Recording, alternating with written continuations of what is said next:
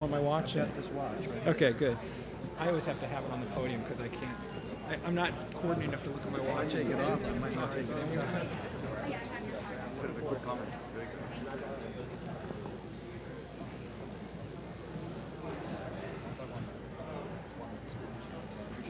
Where's Gopal? Is he here? Yeah, it's right here. Oh, I didn't see him. Hey, are you leaving or are you staying?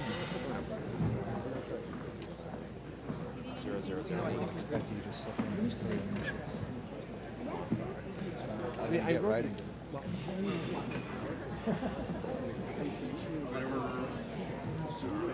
all right. No, it's all right. I didn't know he was here. I didn't know he was. Well, I think got it every Shawn's going to come use the across so there's just if you want, or you know, push him to the side, or push him to the side. Doesn't matter. my email. Can you put it over I towards sent you emails and I can't believe they didn't tell me, tell me that and move this guy over? I can't believe it. When I came out, I said, "Did I call your office?" And, and I said, "I said, you know, Vicky, I just called the White House. Chris apparently is not coming." She goes, "He just left." I go, "What do you mean he just left?" So anyway, let me do this. It's all right. I'm, I'm, The hard part. Now we're into the loose part.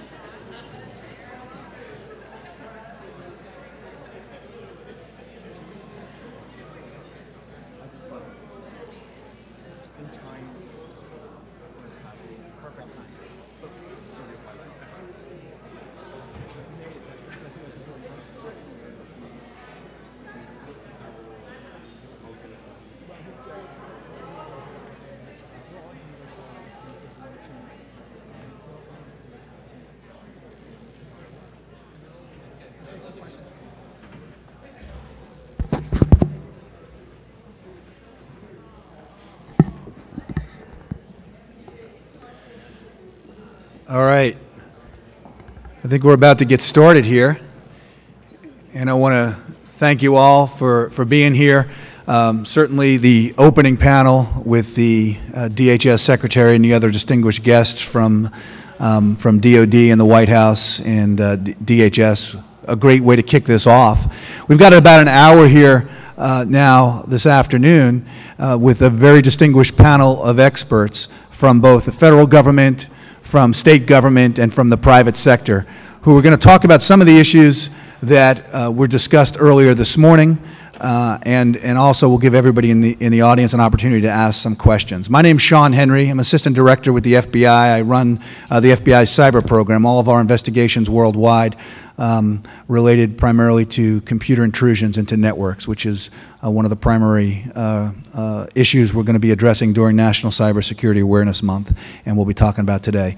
What I'd like to do is, uh, is start with our panel and have each of them introduce themselves just for a minute or two, and perhaps talk about uh, some of their issues or concerns and how they're operating now in their current capacity in, in cybersecurity.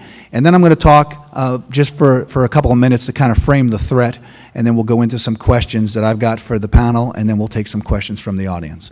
So why don't we start with our, our panel of experts uh, first? Hi, I'm Rowan Trollope, uh, Senior Vice President of Consumer Products at Symantec Corporation. I'm responsible for building and running the, the consumer business, which is uh, responsible for protecting around 50 million uh, consumer PCs around the world. Uh, I got my start in the industry when I was 16 right here in DC, when the very first virus ever came out, and uh, I was running around the world cleaning it up when I was in high school. and uh, things have changed pretty dramatically since then. I'm still doing basically the same thing, but the bad guys look a lot different. And, uh, you know, that's a, that, that makes my life very, very interesting, frankly, and uh, makes it a lot more important Uh, and uh, so I think that is changes our focus at Symantec away from sort of going after hackers and kids and teenagers at home towards working with uh, folks like Shawn at the FBI and the various uh, different agencies uh, to, to actually help and assist with providing information on tracking these guys down and, and putting them away. So that's uh, a big shift for us at Symantec and makes me very excited to be here today with my distinguished guests. So thanks for inviting me. Excellent. Thanks, Rowan. Uh, Good morning again. Uh, I'm Michael Kaiser, the Executive Director of the National Cybersecurity Alliance. I think uh, you got a good flavor for what we're interested in earlier today. I'll just say that, you know, our, our view of the world is um, really uh, just a broad base of users across a lot of different arenas, whether it's home users, younger kids, colleges and higher education, and small and medium-sized enterprises. So really, actually, when you add those all up, it's a pretty big chunk of the pie, and our efforts are awareness. It's making people smarter. It's making people um, really embrace the digital culture safely and securely. Excellent. My name is Gopal, Gopal Khanna. I'm the CIO for the state of Minnesota, and I'm really pleased to be here today in my capacity as the president of the National Association of State CIOs, NASCIO. It's a body of, uh, of a collective body of all the state CIOs, and the way we see ourselves when it comes to cybersecurity is we are the first defenders, first responders should there be a cybersecurity attack. Because very often what is lost in this whole conversation about cybersecurity is that it really is not as a federal threat only, it's a national threat. And as the speakers pointed out this morning, actually it has international element to it as well. And we are very concerned in state and local government because should there be a cyber attack, the citizens will be impacted in Virginia, Maryland, Wyoming, Montana, God forbid, Minnesota, and other places. And we have to be the first responders and first uh, uh, from, from every aspect of government services. So while we need to work with the private sector and all elements of government, we, we want to be sure that it is seen as a national issue, a national threat. And I'm really pleased to be here today. It's a very interesting panel to talk about the future. And we certainly can do a lot to make our uh, digital future very secure. Morning, everyone. I'm uh, Phil Reitinger. I think you all heard me talk at least a little bit at the last time. Uh, I guess the one thing I'd say, um, in addition, particularly around the topic of awareness, is that we're, I think, at a moment of challenge and opportunity right now. Um, more generally around cybersecurity, but specifically also around awareness. Um, challenge because I think, as we all know, the threats have grown much more significant. Make no mistake about it, I consider that undeniable. We can have a colloquy about that if you like. Uh, in addition, we've got a populace that, for the most part, did not grow up with cybersecurity as a part of their DNA. Um, and we talked a little bit before the, the DepSec um, death, talked a little bit about how we're in 1928. You, know, you can think about the same thing with regard to the automobile. So we got a bunch of people driving cars who didn't grow up watching their parents drive cars. You know, when I drive a car right now, as I'm pulling up to a red light, I often hear one of my sons say from the back, "Red light, Daddy, stop." You know, He knows how to drive, essentially, not how to steer the car, but what the rules of the road are. Um, most of us didn't grow up that way. Um, our kids will, but we got to get through that bump with you know, a populace you know, where senior citizens are, for example, the widest growing demographic in the use of the internet. Um, that's the challenge part. The opportunity is all of you. It's not us. We don't matter that much. It's all of you. You know, I, if I wasn't clear from what I said before, you know, I look out at all of you and I am inspired. I really am. Because the, the collection of commitment across the public and private sector, you know, all of the different private companies I see out there, all of the different government agencies, you know, from the FBI to the White House um, to DHS, you know, lots of different ones. I could, I could point around you to state governments. It's just, it's a huge collection of people. And so that, you know, that emphasizes that we really do need to execute on our shared responsibility and all take not only corporate but personal responsibility to raise awareness. You know, on the break, I learned that Shannon is doing his job by tweeting about our activity while we're here. Now, you can make a joke about that. I just did, but it's actually true. I mean, that's a great thing. Thank you, Shannon. I want everybody to go out there and use the opportunities of the next month you know, to raise awareness. That's what this is all about. You know, as, as, as I think you know, it was said before, this is really almost a recommitment. You know, it's a liturgy that we engage in on a yearly basis that is, it is essential to what we do. You know, we get together again and we say, here's what we're going to do this year. We're going to make sure that we get to that ecosystem next place where we need to be. And so I, I'd say thank you all for being here. Um, you are clearly a huge part of the solution, and I, I value your commitment. Thanks, Phil. Um, I, I, just want to take a minute to, before we go into some questions, just to kind of frame the scene for all of us. When we talked about National Cybersecurity Awareness Month, and the Secretary stood up and talked about protecting your computer from, from virus, making sure that your firewall is in place, et cetera, um, I, I, think that most of the people here do have a good understanding about what the threat is. Uh, but I think that one of the reasons we have a problem, and Phil started to go down this road, uh, is that the, the average American does not understand what the threat is. If we were to say that there was a bomb planted right in the middle of this room, everybody would scatter because we all know what it looks like when a bomb goes off. We know what it looks like when a plane fly, uh, flies into the side of a building because we've all seen that. But I think most people don't understand what the results are, what the consequences are of a cyber attack. They don't understand what the loss of data means to them.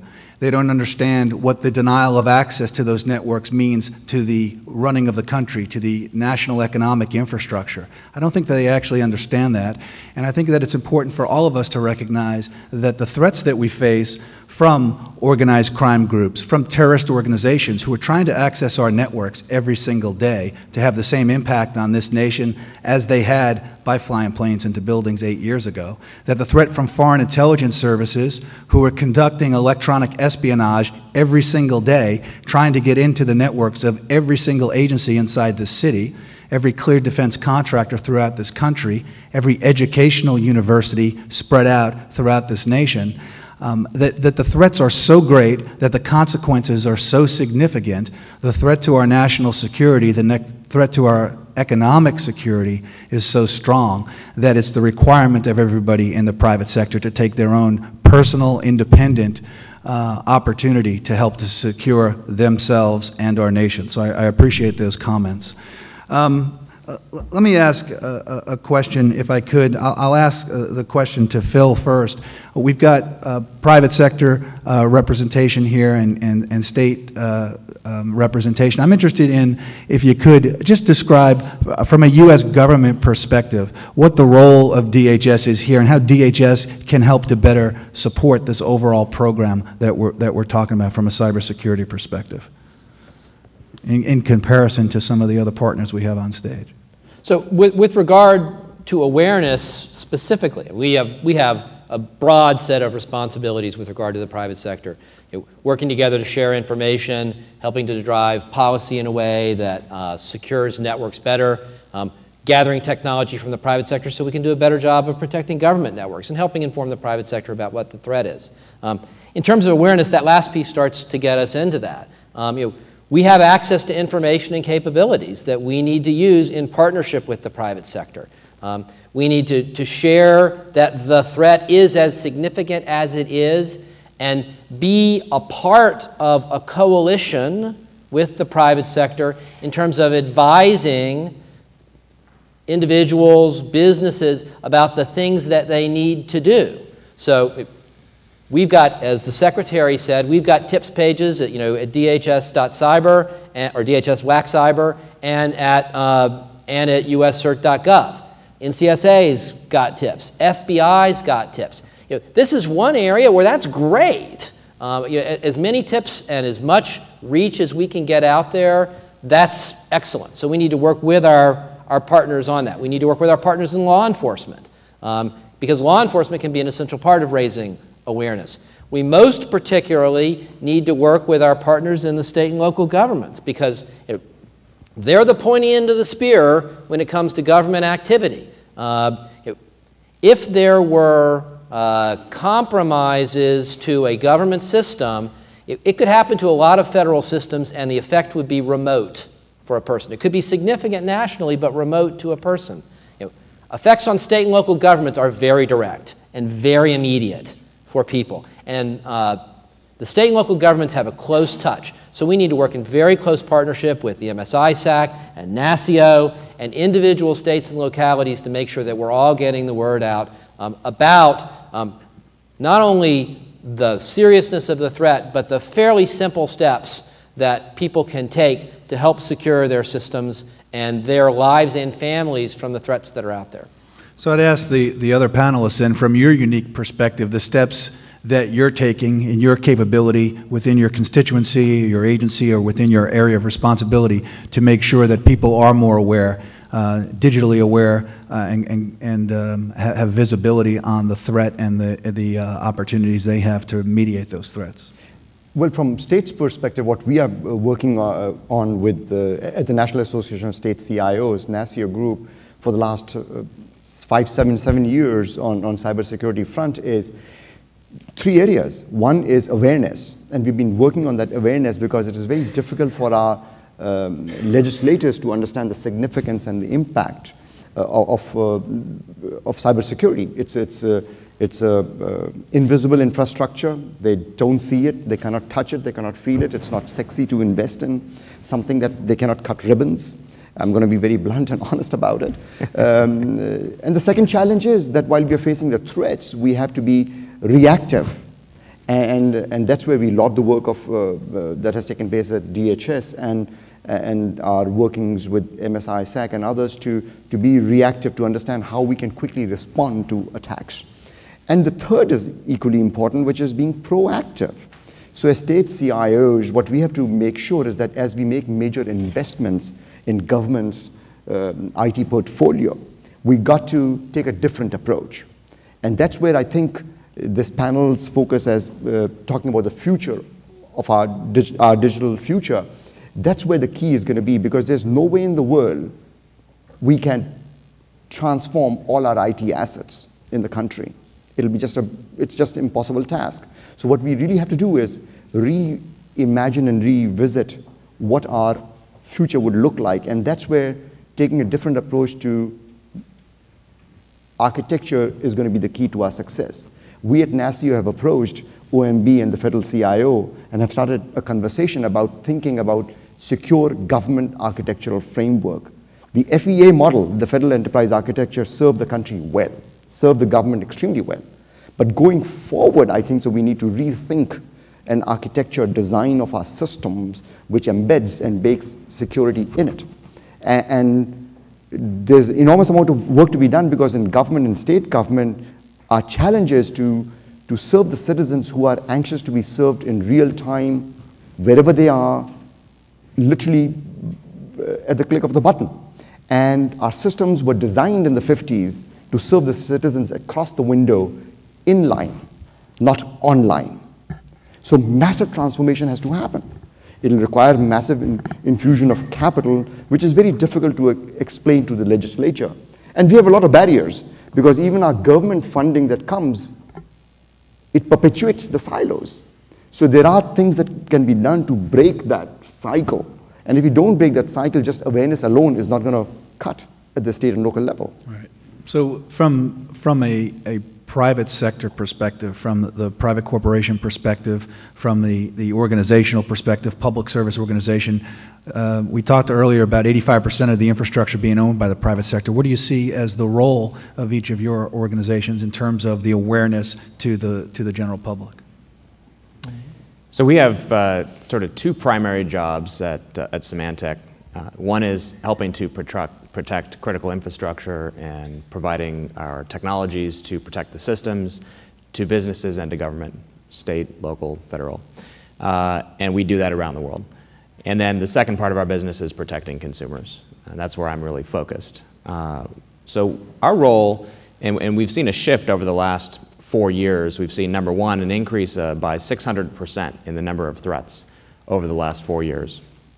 And Specifically, in the last couple of years, the bad guys have realized that it's not systems that are the weakest link anymore, but it's people. And you can't install code on an individual. Uh, you have to educate them. And I'll tell you a story. I was at home the other day, and my brother's uh, staying with me in the guest, in the guest room. I was making my coffee in the morning and I overheard snippets of his conversation. So he was on the phone with his bank and he was frustrated because it sounded to me like uh, his uh, account was overdrawn. And I wandered into his, his room and I was peeking over his shoulder. and he has an email on his computer that says, Your account has become overdrawn. And he's on the phone. And of course, this was a that why he was phishing staying attack. with you? yeah. and and uh, it's, he's got a phishing email, and I say, "Good Lord!" So I, you know, in slow motion, I'm jumping and knocking the phone out of his hand. But in reality, you know, uh, said, "Josh, hang up the phone. This is not a real situation." And then I explained it to him. But the weak link there was my brother, who was, you know, look, he's a chef. You know, so if those guys get me, shame on me. If they catch my brother and you know drain his account, which would have happened in this call because it was two steps away from, sure, we can help you out, provide me with your account information, we'll take care of you. And we see these stories over and over and over again, protecting uh, the millions of consumers that we protect. We have a big responsibility to educate. So this year, we've launched a major new campaign to educate consumers. And, and that is the primary thrust of our activity this year. So we're reaching out directly to, the, to our consumers through our products. So literally on the desktop, we've, uh, we've hired um, expert, uh, you know, expert writers, and we're providing content, educational content directly through the products. Uh, and then we are also launching a campaign, and you, you, you may see it, uh, and we'll actually be here in DC on the 28th with a, a physical embodiment of the black market where, uh, where your information is bought and sold online. And we're mocking that up so that you can touch it and feel it and see it. And that is designed to get out to, you know, through the media to consumers around the world and really get them to be aware of the threat. And so I think that's really the biggest thing that we can do right now as an industry is educate our consumers uh, while we continue to provide protection for systems. Good. And I think our role um, falls sort of in between all of these in some kind of interesting way. I think the things that we're really interested in, we think um, are that as the as, as the players, and I'm not talking about NCSA as a player per se, but all of us as players in the, in the consumer and education of all the users in this country, that actually we got to sync up our messaging a little bit, that we need to work together. I think that we have to trust that consumers are going to make decisions about where they think the best information is, and it's hard for us to tell them otherwise, right? If they want to go over to DHS because that's where they're hearing today, for example, they heard the secretary speak on a news uh, feed and they say, well, that's the place where the information is, they should go there. If they think it's over at Symantec or over at Microsoft or over at McAfee or any one of these companies where the information is, they should go there. Our hope is that we build a big tent and we all talk about what those messages are. We don't want people to be confused. You know, we, I think the traffic analogy is a great one. You know, we have the right of way. People know when they get to a corner that they need to look right first, right? No one's promoting left of way, right? And that we have to make sure that in this digital age, we are synced up in that way. And, we, and that's the role of NCSA to further that discussion, to bring people together, to work on some of the messaging together, to find if there is some universal messaging around some of these things, and to push that forward out so that we can have the kind of public safety campaign that I think people envision. You know, the kind of, you know, I mean, we all probably remember Smokey the Bear. You know, I don't know what that would be now, but we need to do that work as a country, as a society, to get that messaging. And we've done so much great stuff in public health. I mean, I think the H1N1 is a perfect example. I think the country is ready to accept safety and security messaging. I think that's the consumers are ready. We have a culture of that now, and we need to sync it up and make it happen, and that's our job. Uh, That's, that's a good point, but uh, you talk about culture, and uh, I'll go back to something that Phil said. He, he talked about his son in the back seat of the car. I heard somebody in my office actually last week talking about digital natives versus digital immigrants, and I'd venture to say that most of the people here in this room are digital immigrants. Unlike our, our kids, I've got a couple of teenage girls who are certainly digital natives. And the challenges that we face with this generation now, some of the things that I'm seeing in, in my conversations with CIOs and CISOs um, are, are the use of social networking sites by employees and the vulnerabilities that we all know are inherent in those types of communication uh, mechanisms. The use of peer to peer in uh, agencies where peer to peer is being put on to corporate networks or government networks because the current generation uses peer to peer. And what are the challenges twofold from a, from a, a security perspective? Per, perhaps Gopal or, or, or Phil might talk about that from a security perspective, but also from an educational perspective. How do we tell people that what it's okay for them to do still has a, a threat or a risk associated with it?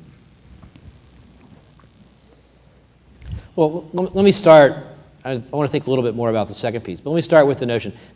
I, I, I, I, I'm a little hesitant anyone says, well, we have to worry about peer to peer, because peer to peer is great.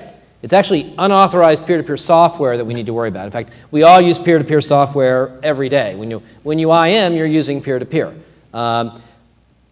The, the challenge is, is, is not the technology, it's the instantiation of the technology, which might be um, unauthorized software, and how we use that technology. So even if it's authorized, it's as you suggested, Shawn, you know, people using social networking you know, to you know, maybe from their work computer, whether it's authorized or not, you're just going on a social networking site where they're not installing any software, but they're sharing things and they're more open about um, what they do than you know, people of perhaps my generation might be. You know, people of my generation typically did not post pictures of themselves in an intoxicated form publicly.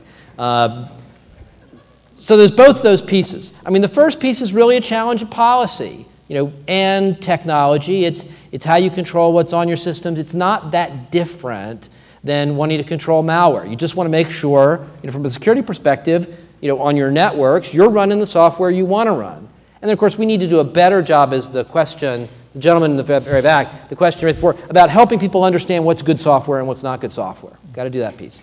Um, the latter piece is really a part of awareness. And we can't pretend as we move forward on awareness that we're going to bend the culture to our will. So, you know, those of us who are baby boomers, you know, at the tail end of the baby boomer generation, um, those of us who are boomers, you know, we're not going to talk to the Gen Xers and Gen Yers to thinking that perhaps privacy, uh, you know, in certain ways ought to be more important to them. We're going to have to figure out how to ensure that we've got a culture that provides security, you know, in line with more of their expectations about privacy.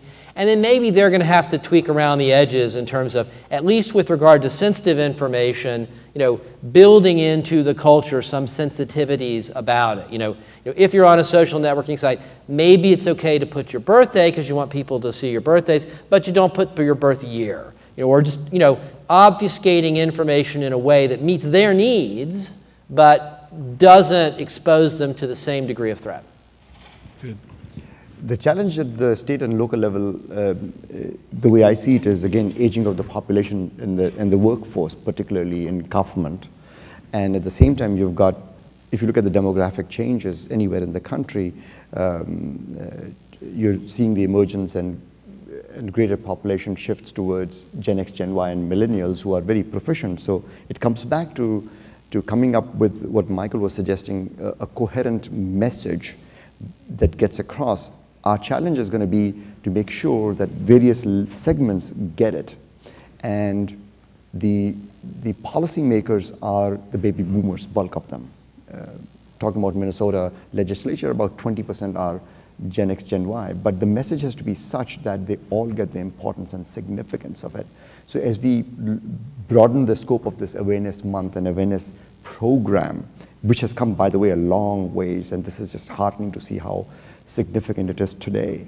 And, and, um, and I'm sure my colleagues all across the country will be very happy to see this participation. But we have got to take this thing really fast because uh, we are fighting against people who are attacking us every day, and we cannot build the awareness fast enough. And I don't think there's one single silver bullet solution to the messaging and awareness campaign either. We'll have to take it from the classroom to, to, to the baby boomers and to the farms as well. Yeah, I think we, we approach this from several different angles. I think um, I'll start with the classroom piece because I think that's really important. I mean, we have about five states now that have uh, passed um, a requirement that uh, schools teach internet safety. But that's actually only a piece of the pie, right? Safety is a very small piece of what we're talking about here. I think in the 60 day review, the president talked about digital safety, digital security, and digital ethics, which is a lot of the same kind of framework that we've been using for a comprehensive approach. But I think about that in even a broader picture, and I, I think a lot of people use an example of their kids, so I'll, I'll pull one out of my, my, my hat as well. I have an eight year old daughter, and she came home the other day, and she had a math assignment, and the math assignment was about it was great. It was a real world math assignment about the odometer in the car. The odometer has 1,000 miles. You drive 200 miles. How many miles are on the odometer? You know, that kind of thing. Actually, I want to see examples from the cyber world. I want to see Jimmy has a 23 megabyte file that he has to download, and it's going to come down at a certain speed. Jimmy, figure out how long it's going to take to get that, that file off the internet and on your computer.